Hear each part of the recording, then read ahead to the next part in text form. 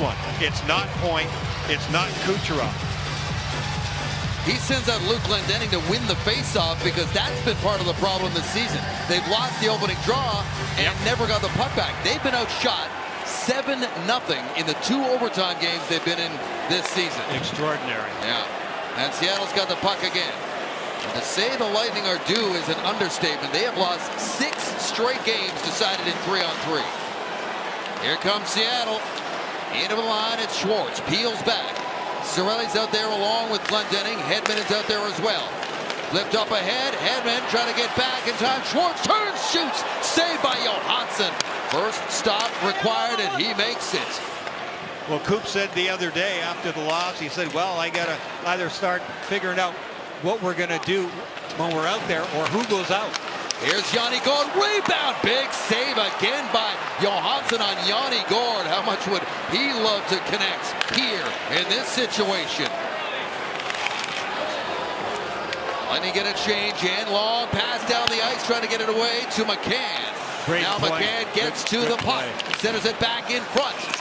Gourde puts it back, and Seattle gets a chance to reset. It's Point, Sergachev, and Kucherov out there right now. Man, the Lightning have barely played with the puck in three on three this season. And there's over a minute gone in this one.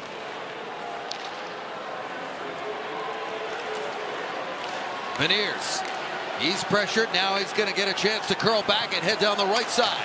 Matty Beniers cut off, and now the Lightning have the puck. And the crowd recognizes that. Cheers them on. Long stretch pass at the ice to Point. Point steps in, shoots. Kucherov. Oh, it hits the post. Oh, my. It hits the post. Carroll's back to Grubauer, and he's got it. It doesn't take them long once they get it, that long pass. And Brayden Point, so dangerous coming in off the wing. Look at Sergachev from behind his own net.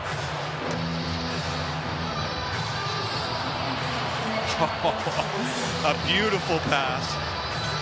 It made it there. Oh, there was just enough taken off of it. That's the story there. Adam Larsson, I couldn't see from here. Adam Larsson knew Kucherov was going there. He got just enough off of it that Kucherov was on a fly by the side of the net. He got a piece of it, but it went off the post. Now Paul to take this job inside the Seattle line, and they're going to redo it. Jaden Schwartz was ready to fly on an attempted breakaway right off that faceoff. Lightning are going to have to be careful here if all three guys are going to be up. Wennberg to take the faceoff for Seattle. Nick Paul again. They battle for the puck. And Jaden Schwartz gets on top of it. Seattle works to the center ice. They'll kick it back. Back to center is Wennberg. Wennberg steps into the line and can't get a shot away, but the penalty call is made. That's going to be a hooking call. And the Seattle Kraken will get a power play in overtime here. Yeah, Nick Paul trying to get back Tampa on the number play. 20, minor penalty, hooking. Puts a stick in there on Wennberg, and it gets caught in there. He even dropped the stick to try and unhook it. But as soon as the referees see that, Watch him come across right there. Yeah, that's always a bad idea. See, he dropped it, but it was already in on the hands. So this is going to be a long two minutes or less for Nick Paul as Jon Cooper looks on. Be a four on three power play here. And the Kraken taking full advantage with their timeout to draw up a, a plan. Well, Vince Dunn can really shoot the puck from, from the top. He came into this game with seven points as defenseman, tied for top on this team. Bjorkstrand is the other guy at the top, scoring-wise. McCann, the 40 goal scorer from last year, and Jaden Schwartz, five-time 20 goal scorer out there for Seattle. Out comes Glendening again to win this faceoff.